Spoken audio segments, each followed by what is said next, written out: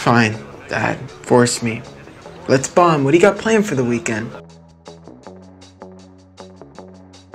Tell us where you are.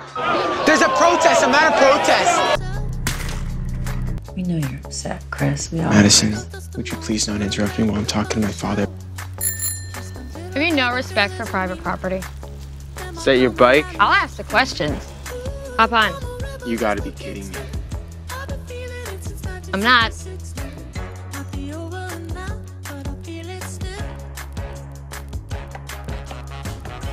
Hey, can they climb?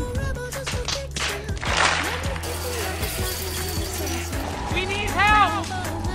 Should I shoot them? Should I shoot? Can I get the fat one?